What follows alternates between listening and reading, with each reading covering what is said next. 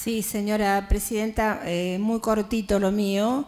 Simplemente aclarar que no solo hemos trabajado como concejales en campaña, porque por ahí piensan que en campaña trabajábamos y hacíamos muchas cosas que no eran inherentes al Consejo Deliberante, que, que sí estoy totalmente de acuerdo cuando se dice que el trabajo de los concejales es controlar y ver que las cosas se ejecuten y se hagan bien.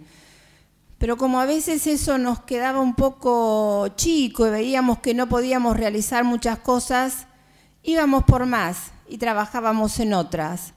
Por ejemplo, en las escrituras, que se trajeron 300 escrituras, eh, que después se las adjudicó el Ejecutivo, las trabajamos nosotros, casa por casa, vecino por vecino. Después trabajamos muchísimo también en lo que es la cianobacteria, ¿eh? que creo que hasta en un debate se lo pregunté al intendente, ¿qué íbamos a hacer? Se lo solicitamos infinidad de veces y acá estamos hablando del medio ambiente, de ese que hablamos tanto, que cuidamos y que protegemos y que vamos a poner nuevas personas a trabajar para que esto esté cuidado.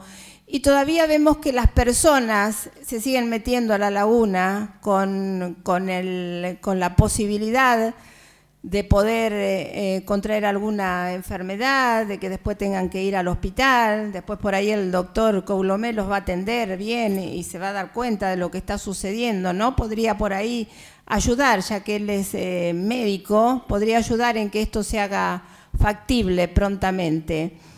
Y le voy a decir también eh, al, concejal y a las personas que por ahí están en duda de lo que nosotros hacemos y en lo que trabajamos, que también ya nos pusimos a trabajar nuevamente este año en, esto que ya dije recién, la cianobacteria, y que también hemos llamado al Instituto de la Vivienda y que prontamente los vecinos del barrio San José van a tener las escrituras.